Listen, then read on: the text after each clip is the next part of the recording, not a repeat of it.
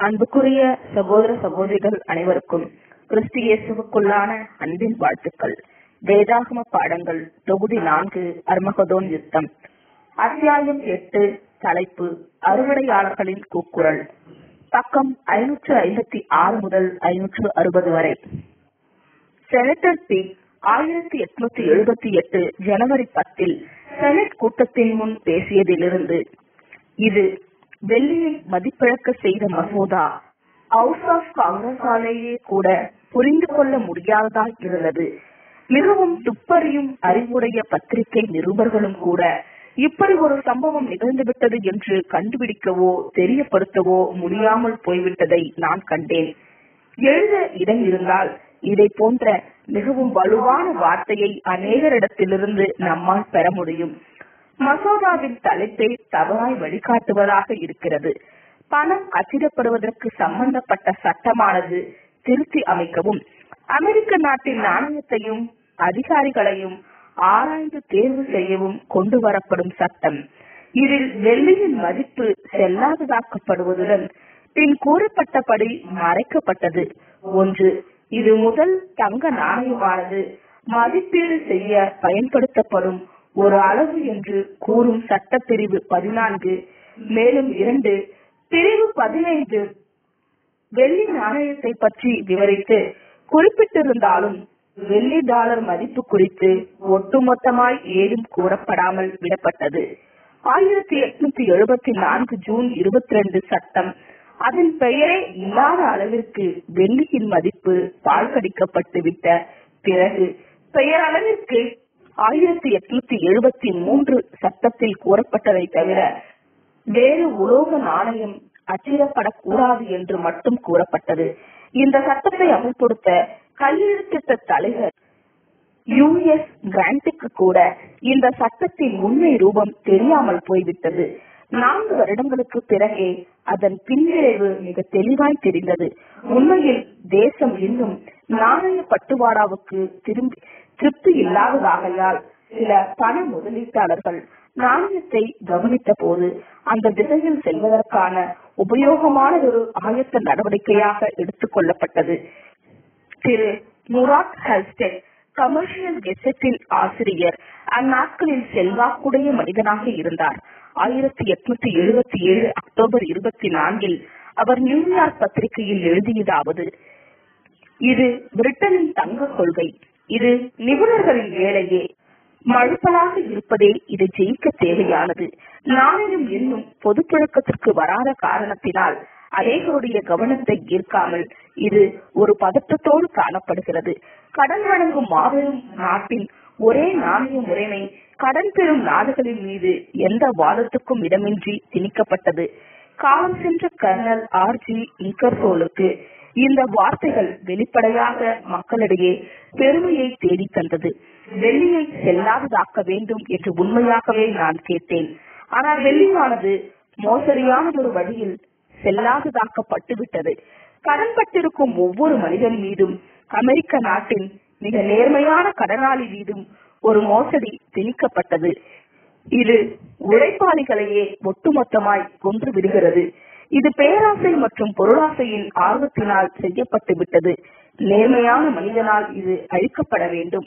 ஆயிரத்தி எட்நூத்தி எழுபத்தி ஏழு ஆயிரத்தி எட்நூத்தி எண்பது.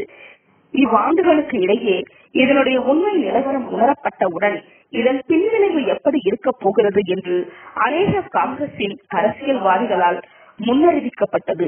சிலரோ இந்த காரியத்தை குறித்து ஏதும் அறியாமல் இருக்கிறார்கள். வேறு சிலர் சுயநலத்தினால் இதை பற்றி ஏதும் கூறாமல் மௌனம் சாதிக்கின்றனர். மேலும் வேறு சிலர் பண முதலீட்டாளர்களின் ஆலோசனை மீது சார்ந்திருக்கிறார்கள். ஆனால் சிலரோ இந்த தவறுக்கு எதிராக வீராவுடன் பேசுகின்றனர். ஆயிரத்தி எட்நூத்தி எண்பதாம் ஆண்டில் அமெரிக்க நாட்டு மேல் சபையில் காலம் சென்ற உயர்த்திரு ஜென் ஜி லைன் கூறியவை. ஒரே ஒரு தங்க நிர்ணய காரியத்தினால் இந்த நாடு மட்டுமின்றி உலக நாடுகளே ஒரு போராட்டத்தில் கஷ்டப்படுகின்றன. ஒருவேளை இந்த பிரச்சனையை வெற்றி பெறுமாகின் உலக வர்த்தகம் முழுவதிலும் ஒரு பெரிய நாசம் உருவாகி பரவிவிடும்.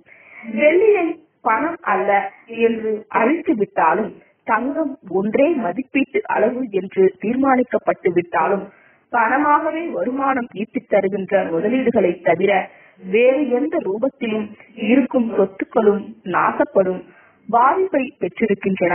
இவைகள் யாவும் பெருமளவில் கூடுதலான மதிப்பீட்டை பெறக்கூடும். மிகவும் துல்லியமான நம்பகமான புள்ளி விவரத்தின்படி எழுநூறு கோடி டாலர் அளவிற்கு தங்க நாணயங்கள் அல்லது வெள்ளி தங்க கட்டிகள் இவ்வுலகில் இருக்கின்றன. வெள்ளியையும் தங்கத்தையும் மிக சரியாக பிரிப்பதினால் கோடிக்கணக்கானவருக்கு பெரும் துயரையும் ஆயிரக்கணக்கானோருக்கு படுமோசமான நாசத்தையும் ஏற்படுத்தாமல் வெள்ளியை புழக்கத்தில் இருக்கும் பணம் என்ற ஸ்தானத்தை விட்டே அழித்து விடுவது என்பது இயலாத ஒன்றாகும். வெள்ளியும் தங்கமும் நாட்டின் பணமாக இருக்கலாம் என்று நான் எண்ணுகிறேன். அது மட்டுமன்றி அரசியல் சாசனத்திற்கு முன்னேறியிருந்த அமெரிக்க மக்களின் நாணயம் மிகவும் சுதந்திரத்துடனேயே இருக்கிறது. இந்த இரண்டு உலோகங்களுமே பணமாக இருக்கக்கூடாது என்று கூற காங்கிரசுக்கு எந்த அதிகாரமும் இல்லை. ஆகவே இப்படிப்பட்ட மதிப்பு குறைக்கப்படுதலில் காங்கிரசுக்கு எந்த அதிகாரமும் இல்லை என்பதே என் முடிவு. ஆகவே ஒருவேளை டெல்லி செல்லாமலாக்கப்படுமே ஆனால் அதை மறுபடியும் மதிப்புடையதாக்க நான் விரும்புவேன். அது நாணயமாக்கப்படுவது தடை செய்யப்படுமே ஆகில் அது மறுபடியும் பழைய நிலைக்கு திரும்ப வேண்டும் என்று ஆண் பிறப்பிக்கப்பட விருப்பப்படுகிறேன். இது மறுபடியும் பெருகுவதையே நான் விரும்புகிறேன். மறைந்த செனட்டர் வேன்ஸ் கூறியவை. பணமும் அதன் உடன் இருப்பவைகளும். உலகமெங்கிலும் இப்படிப்பட்டதொரு சதியாலோசனையில் இறங்கி எக்காலத்திலும் இல்லாத ஒரு பாவத்தை செய்ய முற்பட்டிருக்கின்றன. அரை பாகம் உலக பணத்தை தூக்கி எறிந்துவிட்டு அடுத்த பாதியின் மதிப்பை கூட்டி தங்களுடைய சொந்த சொத்துக்களின் மதிப்பை தங்கள் அதிகாரத்தினால் கூட்டிக் கொள்கின்றனர். நமது சுதந்திரம் என்ற புனிதமான ஆலயத்தை இந்த பணமாற்றம் மாசுபடுத்துகிறது. வெளிநாடுகளில் இருக்கும் தனது பிரதிநிதிகளுக்கு பொருளாதார நிலவரத்தை அறிவிக்கும்படி அமெரிக்க ஐக்கிய நாட்டு அரசாங்கம் அதிகாரப்பூர்வமான கடிதங்களை அனுப்பியது. பெல்ஜியத்தில் அதிகாரியாக இருக்கும் திரு குர்ரி கூறியது குறிப்பிடத்தகுந்ததும் அமெரிக்க நாட்டு மக்களின் அனுபவத்தோடு தொடர்புடையதுமாக இருந்தது. பெல்ஜியத்தின் நிதி அதிகாரியாக மதிப்பிற்குரிய அல்போன்ஸ் அலாட் என்பவர் என்பவரது கேள்விகளுக்கு கீழ்கண்ட பதிலை தருகிறார். ஆயிரத்தி எட்நூத்தி எழுபத்தி மூன்றிலிருந்து பொருட்களின் வீழ்ச்சியினால் ஒரு தொடர்ச்சியான இக்கட்டு இருக்கிறது. இது மேலும் வளராதபடி தடுக்க முடியாததை போல் தோன்றுகிறது. விலையில் வீழ்ச்சி ஊதியத்தின் மீது பாதிப்பு ஆகியவை சமுதாய மற்றும் தொழில் முறைமைகளில் ஒரு நெருக்கடியை உருவாக்குகிறது. நொண்டியானாலும் கூட மறுபடியும் ஆயிரத்தி எட்நூத்தி எழுபத்தி மூன்றில் ஏன் மறுபடியும் ஒரே நாணய முறைமைக்கு திரும்பி வந்தோம் என்று என்னை கேளுங்கள். முதலீட்டாளர்களாகிய ஒரு குறிப்பிட்ட கூட்டத்தாரை திருப்திப்படுத்த இந்த வகுப்பார் புதிய கொள்கைகளை கண்டுபிடித்தனர். அரசியல் பொருளாதார நிபுணர் சிலரால் குறிப்பாக பிரான்ஸ் நிறுவனத்தின் அங்கத்தினரால் ஆதரிக்கப்பட்டனர். தொழில் மற்றும் சம்பளம் இவைகளின் மீது இந்த பொருளாதார காரியங்களுக்கு பெல்ஜியத்தில் என்ன செல்வாக்கு என்று கேட்கிறீர்களா? ஆயிரத்தி எட்நூத்தி எழுபத்தி மூன்றில் ஏற்கனவே பணப்பற்றாக்குறை இது இன்னும் மோசமானது. ஏற்கனவே எதிர்பார்த்திருந்த விலை வீழ்ச்சியும் ஏற்பட்டது. ஆயிரத்தி எட்நூத்தி எழுபத்தி மூன்றிலிருந்து எல்லா உற்பத்தி பொருட்களின் விலையும் ஐம்பது சதவிகிதம் சராசரி விழுந்தது.